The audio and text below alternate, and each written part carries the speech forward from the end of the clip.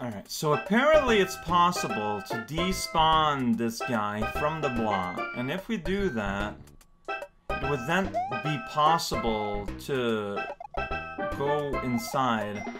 I can see this happening in the NES version, but I don't know about this version. So, how would one go about despawning you? I, do not know what are the despawn rules.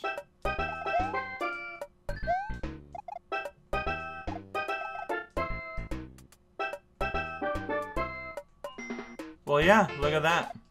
Of course, now I have the Paragoomba in the way. But then that stopped being a thing. So you have plenty of time to just press down on this white block. You fade into the... I thought you were just invincible. Well, the point is, then you fade into the background and you can go and get a flute. So, you can get two flutes if you're going to do a full ascetic run. So, strictly speaking, you could skip straight to World 8. However, I think that's not the correct strategy to do, because I think you want to accumulate some tools in some of the levels. But hey, good to know. Hey there, one, the cell count. Just want to look. Okay, so that's my tool set.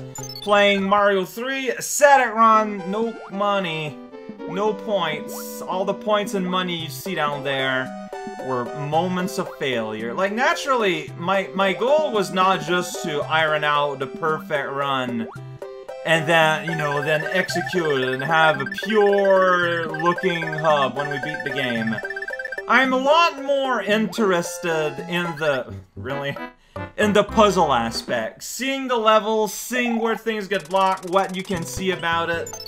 To me, that's just like... To me, that's the whole point of the exercise, which, you know, means we won't always have perfect runs, because that's not the point. Look at that guy. He's swimming around like some kind of swimming jerk. Normally you get a power-up here. So see, we're getting to the part of the game where, you know, some parts, like, just... Uh, oh boy. Um, Blooper has a family now. In case you didn't know. There, I don't think that squids have much in terms of family instincts, but, I mean, I don't know. I'm not a squid. I, there's very possibility that there's a strong parental bond between a squid and its brood. I'm aware that you can run and hit and you get a star almost always, but I uh, specifically take my time because in case there's an enemy hiding in there that I need to contend with and or activate on monk mode. Alright, so here goes level. Let's gonna jump up and try to get himself killed. Yeah. Yeah, that's going to be a problem. Um... Okay, this one might be spicy. Let's see how it goes. So to here it's fine, but then this happens. Okay, you can do that. Alright, alright, alright. That fish down there only does these little baby hops. He's not very dangerous. Oh boy, can I just... I don't know if I can just swim all the way in the bottom. Maybe it's something worth trying? I certainly can. But is it...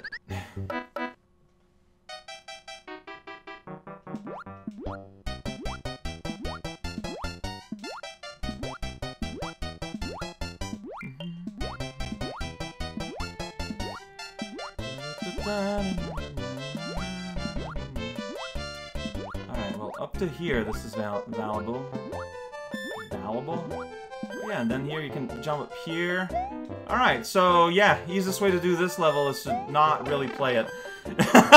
just, Ciao, another fish. Whoa. Oh, what? You double bop? Since when do a fish double bop? Double bop. From Brasbro. Uh, whoops, swimming here.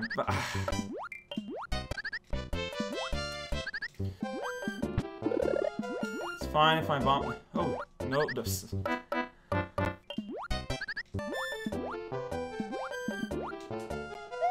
Alright, there we go.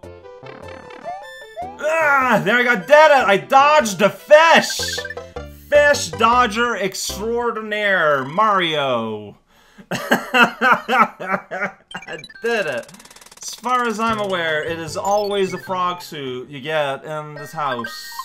Pick a box. Its contents is full of things. That's not even funny. Like, you just, you just said a word. Alright, here we go. Boss Bass. This is a Boss Bass level. You know Boss Bass? Uh, there's a lot of money here. That's scary.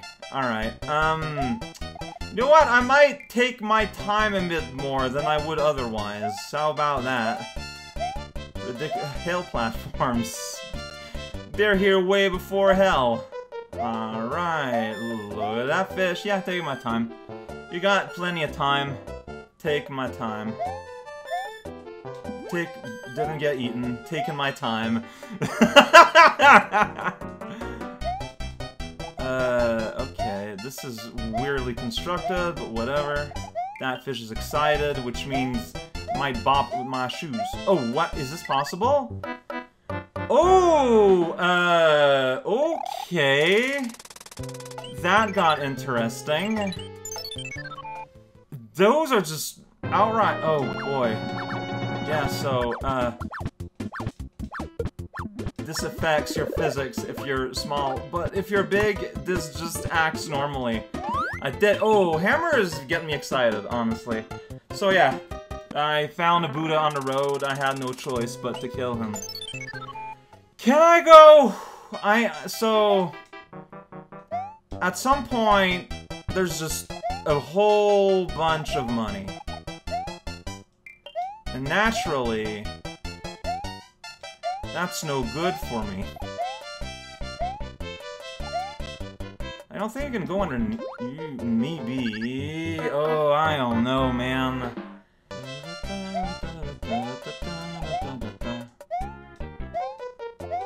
Get, okay, like up to here is fine, but then it's just all slipped off. Sorry. Dang it. Well, uh, dang it. Is everything is fine. I'm just gonna say dang it for fun.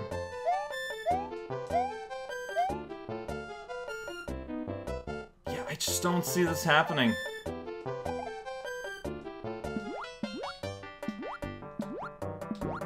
It's not impossible, it's just did he eat me, or what happened there? Is it possible? Well, there I am, messed up.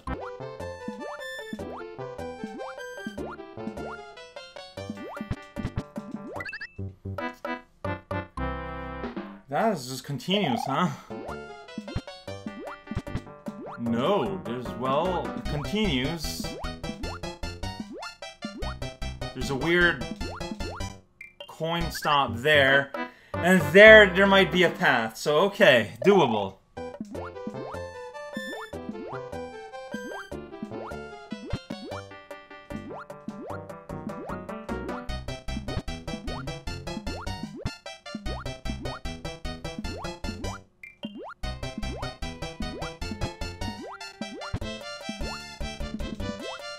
Whoa, there's stuff here?